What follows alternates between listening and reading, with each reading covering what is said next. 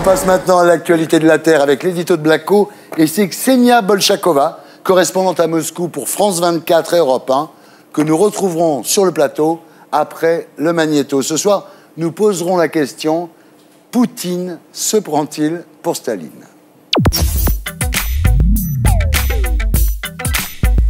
Poutine a toujours été nostalgique de l'URSS. À peine installé au Kremlin, il a rétabli l'hymne national soviétique choisi par Staline en 1944.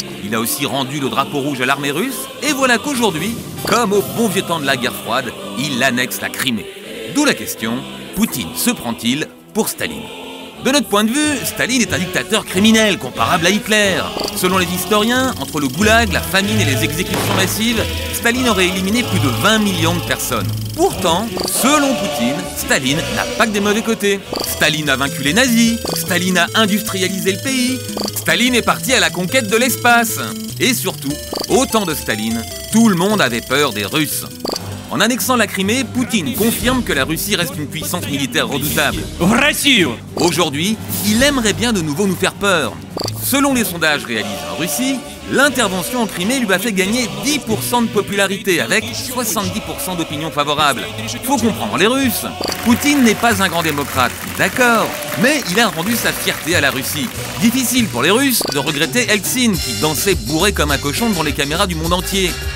Au temps d'Eltsine, l'Empire russe se réduisait comme peau de chagrin en accordant l'indépendance à l'Ukraine et aux pays baltes. Aujourd'hui, c'est le contraire. La Russie agrandit à nouveau son territoire. Poutine défie les Occidentaux. Il envoie des troupes en Crimée, comme au temps où l'URSS envoyait des troupes en Hongrie ou en Tchécoslovaquie. Mais la question, bien sûr, c'est jusqu'où ira-t-il?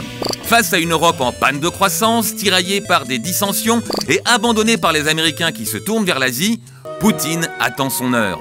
Il a le temps avec lui puisqu'il a modifié la loi pour pouvoir rester au pouvoir jusqu'en 2024.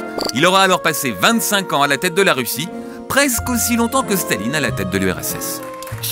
Voilà, c'était l'édito de Blacko, mise en image de Julien Grappe.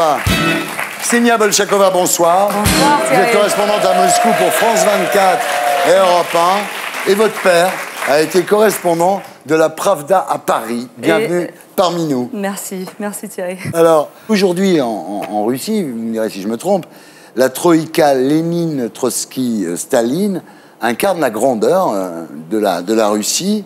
Et là où Poutine est très malin, c'est qu'il a réuni finalement l'héritage des tsars, l'héritage des dictateurs communistes, et qu'il est un peu comme la succession, il est dans la lignée de tous ces gens-là. Il s'est mis dans la lignée, mais en même temps, il se revendique pas comme un, comme un héritier. Par exemple, le nom de Staline n'est jamais cité, Lénine n'est jamais cité, Trotsky non plus, encore moins. Trotsky d'ailleurs. Euh, on parle de la grandeur de l'URSS, on parle de la grandeur du pays, le peuple russe qui a vaincu les nazis, mais euh, ces noms-là sont jamais évoqués. Donc c'est vrai que c'est un petit peu, euh, c'est un petit peu délicat. On sait qu'il y a eu les purges staliniennes, la famine. C'est pas un personnage dont Poutine se revendique directement. Ouais. Moi, je trouve les comparaisons euh, un peu tirées par les cheveux. Euh, je ne sais pas comment Poutine se pense, mais je sais qu'il a dit, par exemple, que, en parlant russe, hein, que tous ceux qui ne regrettent pas l'Union soviétique n'ont pas de cœur, mais que ceux qui veulent la reconstituer n'ont pas de tête. Je pense qu'il est en train de... Il, essaie par des procédés dont certains sont critiquables, d'autres sont condamnables même, et d'autres il faut le dissuader d'aller plus loin. Il est en train d'essayer de redonner une sorte de dignité, de fierté à un peuple russe qui a connu un effondrement épouvantable à la fin de l'Union soviétique en 91. Et moi, je pense qu'on a bien de la chance s'il n'est pas sorti du peuple russe compte tenu du traumatisme qu'il a connu en 92-93, pire que Poutine. Non, mais en Russie, pour reprendre quelque chose que vous dites dans, dans votre livre au sujet de la France, il n'y a pas de haine de soi. Quoi. Je veux dire, les, les- les Russes sont très fiers. euh, C'est pas tout à fait juste. hein. Ah parce bon que Oui, euh, oui. il y a quelque chose de très présent chez les Russes, c'est un complexe de supériorité combiné à un complexe d'infériorité. C'est-à-dire pendant toutes les années 90, les Russes se sont excusés d'être Russes, issus d'un pays qui s'est effondré avec toute cette histoire qui était un peu bancale. Et aujourd'hui, c'est ce complexe de supériorité qui est en train de regagner du terrain. Et il regagne du terrain d'une manière assez violente. On voit comment ça se passe aujourd'hui avec ce patriotisme, avec ce militarisme. Il y a une ambiance très très particulière en ce moment à Moscou, qui est vraiment oppressante. Enfin, C'est lourd à Moscou en ce C'est très très lourd. Enfin, Ouais. Pour des gens comme moi, élevés, euh, qui ont grandi en Europe, je trouve ça particulièrement Ouais. difficile à, à vivre. On nous dit que le peuple russe est un grand peuple, un peuple fier, qu'il faut euh, surtout... Oui, mais en euh, même temps, excusez-moi, Ksenia, mais euh, le patriotisme de Poutine lui vaut 70% d'opinion favorable. Euh, le côté je sais pas ce que je vais faire de Hollande lui vaut 25% d'opinion évidemment, favorable. ça fait du bien quand pendant 20 ans, les gens ont vécu avec ce complexe de- d'infériorité. C'est peut-être ça qu'il nous faudrait Euh, en France, compte tenu de ce que pas. disait Hubert Védrine Ah, tout à tu veux un l'heure. bon Poutine pour la France. T'es complètement à la masse, faut arrêter la ganja. Hein. C'est pas la, c'est pas la popularité qui, euh, qui donne la valeur à un homme. Oui. D'ailleurs, Hitler était populaire aussi. Pas la même chose. Hein. Ouais, mais sauf C'est que même- chez c'est lui, on euh, chez lui, il y a quelque chose quand même qui, euh, enfin, qui exalte la nation russe. Mais Obama, il exalte la nation américaine. Oui, bien sûr. On reproche jamais à Obama d'exalter la nation C'est américaine. pas exactement la même chose. Et il n'a pas envahi Cuba, euh, Obama. L'autre, il a envahi la Crimée en deux secondes. euh, et personne n'a rien dit. Bon, sérieusement, Poutine, c'est un grand leader ou c'est un cinglé? Du point de vue occidental, évidemment, il est tout à fait euh, rejeté, euh, parce qu'il nous agresse, il nous provoque, il se moque de nous, il fait absolument rien pour se rendre aimable. Bon, c'est un euphémisme. Mais il faut avoir un jugement quand même dans la durée.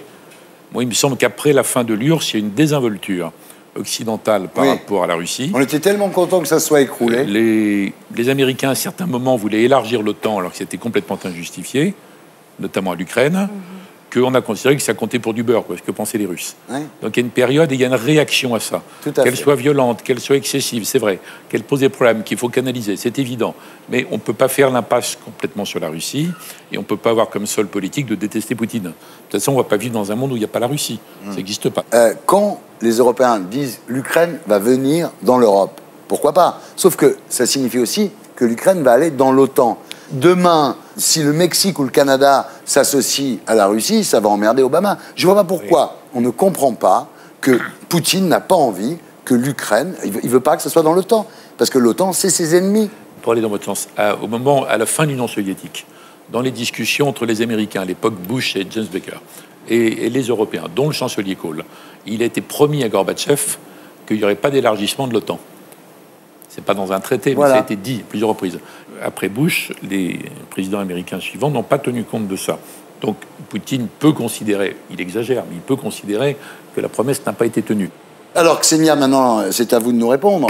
Euh, Jusqu'où va aller Vladimir? Parce que finalement, euh, la Biélorussie, il y a un million de Russes. Le Kazakhstan, il y a 4 millions de Russes. Donc, il peut dire aussi à un moment, pourquoi pas la Biélorussie, pourquoi pas le Kazakhstan? Lui, veut reconstruire une sorte du RSS non, non communiste.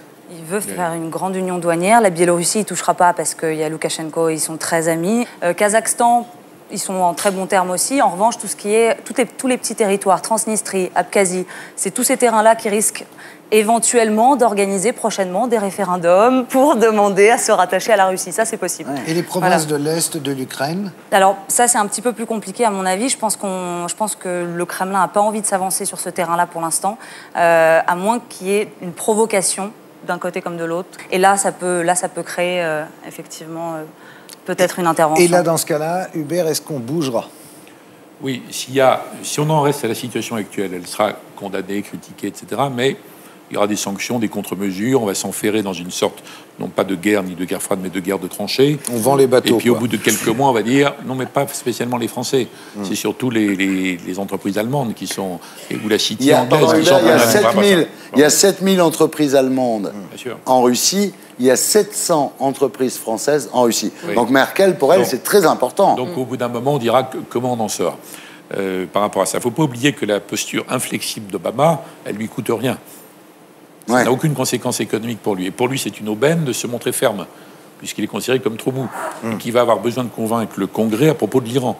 Donc on va chercher à un moment donné, je pense, une porte de sortie dans 3-4 mois. Non mais qu'est-ce qu'on fait? Attendez, qui veut mourir pour la Crimée aujourd'hui? Qui Non, veut aller se battre contre on- les Russes? On ne parle pas de, de guerre, on est surtout dans un monde économique, d'interdépendance économique, Ah ouais. énergétique. Donc il peut y avoir une escalade en matière économique et financière euh, qui aille très fort, très loin. Bah, il va couper le gaz, et puis c'est tout. Oui, mais euh, Il va couper le Il a gaz. besoin de le vendre à quelqu'un aussi. Ksenia, dernière chose.